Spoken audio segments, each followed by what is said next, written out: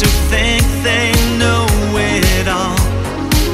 We were sailing by the lonely streetlights, thought we'd never fall.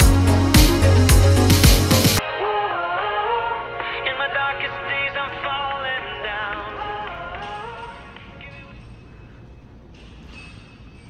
Hi everybody, Anthony here with Aces Adventures. Welcome back to another episode.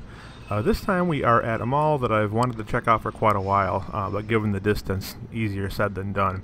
Uh, we are at the Kyova Mall in Ashland, Kentucky, and uh, let's get into the notes about this property. Um, a very, very, very dead mall, as you're going to notice. You're only going to see um, a handful of people uh, on a, I believe it was a uh, Tuesday evening I was in there, but still. Uh, at any rate, the Kyova Mall actually opened in 1988, so it was a later built mall. Um, it actually opened as the Cedar Knoll Galleria, and the name actually comes from uh, a golf course that preceded the property. Um, the mall is surprisingly decently sized. Uh, anchors included the mall is approximately 600,000 square feet, and it was originally anchored um, by a Sears, a Stone and Thomas, a Phar-Mor, and Kmart. Um, the original plans for the mall actually included a movie theater uh, in the rear of the property as well as an additional anchor, which I believe never came to pass. Um, the theater did several years later, but we'll uh, we'll get into that in just a minute. Um, Stone and Thomas actually too would also later become uh, Elder Beerman. So a department store turns into a department store. um, mall, even though it's located near Interstate 64, one of the main interstates in the Kentucky uh, area there where Ashland is, um, it, it struggled partially because even though it was near an interstate, uh, a lot of the residents preferred the Ashland Town Center Mall, which I was told is closer to the downtown area. And uh, another interesting thing to note is that some of the spaces in the mall were never leased uh, right from the get-go. So there is uh, gaps between the stores, and that would that's what would explain uh, some of the gaps uh, between the stores. Um, one thing that really, really, really hurt this property, uh, as it has several other rural malls throughout the country, is that only six years after the mall opened in 1994, um, a Walmart opened less than a mile away from the mall. Um, a couple other notes here in 2001, an Italian oven pizza restaurant closed due to illegally selling alcohol. Um, Boyd County is a dry county, which we'll get into again here in just a minute. Uh, and then in 02, another fatal blow came when Kmart and F- Phar-Mor uh, both closed due to uh, bankruptcy issues at the time. Uh, still trending downward in 05, the mall was bought by Eggleston Associates and renamed to the current name that it has today, the Kyova Mall. Um, attempts were made to revitalize it. A new roof was put on. Repairs were made. Uh, Steve & Barry's occupied the old Kmart, and a long planned, and the long planned uh, movie theater finally came to pass uh, and was ran by the Phoenix Theater Company. Uh, various tenants moved in and out throughout the next decade or so. Um, the mall had some prosperity, but only got up to about 21% occupancy, um, and then you know other issues here and there.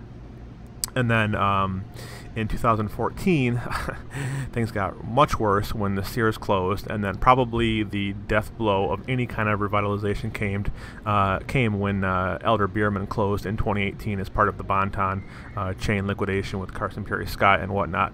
Um, crazy to believe now that it's been over a year since Bonton has been closed. By the way, um, Bontons were the primary chain where I live. Uh, Carson's and you know Elder Beerman were in other parts of the country. Um, and I, as I had mentioned earlier, one interesting th- interesting thing to note is, uh, like I said, Boyd County uh, was a dry county up until 2007. I believe that's accurate. If that's not accurate, please correct me. But uh, according to my research, that sounds pretty accurate. But again, I could be wrong. Um, and that you know the the ability for you know restaurants in, in, a mall, you know like some taverns or whatnot, or not so much taverns, but you know like a like a Ruby Tuesday type of place uh, to sell alcohol, uh, probably did not help matters much um, as we wander um, through the theater here. Um, so this this property was uh, extremely extremely dead. Uh, it's another one of those malls that I visit that I just cannot believe that it is still open. Um, there are literally only a handful of places in this uh, establishment. uh, one being a library, um, and I can't imagine that they generate much revenue. So as I have mentioned before in uh, previous videos. One of the main things that probably keeps the property going is just the fact that it's a local rural mall and um, you know maybe there's just not a ton of expenses really to, you know, looks like they, I mean, I didn't see any security in here. I didn't see any maintenance workers.